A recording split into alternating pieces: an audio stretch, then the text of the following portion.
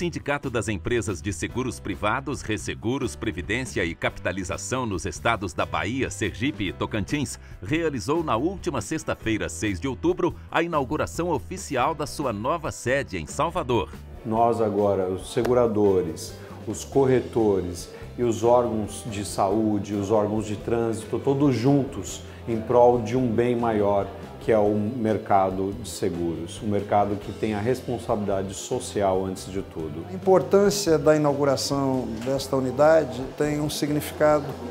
muito grande em relação ao momento atravessado pelo nosso país,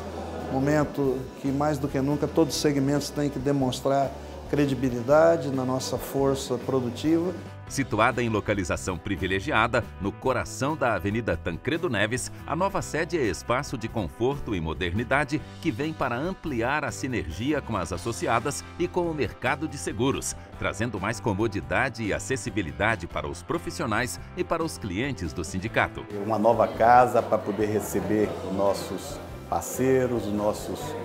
segurados, os nossos corretores, enfim, é uma sede que vai realmente unir o mercado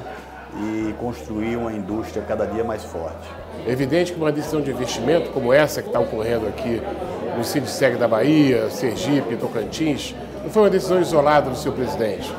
mas sim uma vontade do seu corpo diretor.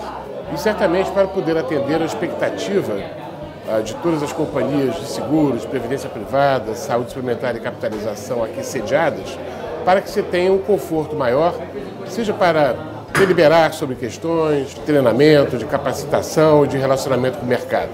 Após a fala inaugural, a família Sindiceg Bahia, Sergipe e Tocantins convidou a todos para a abertura da sala Marco Antônio Rossi. A sala presta homenagem à memória do grande líder do setor de seguros falecido em 2015.